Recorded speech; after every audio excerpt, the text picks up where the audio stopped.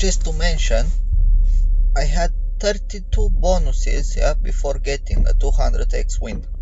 And luckily, it's a, about 600x win. Get in there. Come on. I deposit 80 pound today. Will be a nice cash out, at least 600 pound.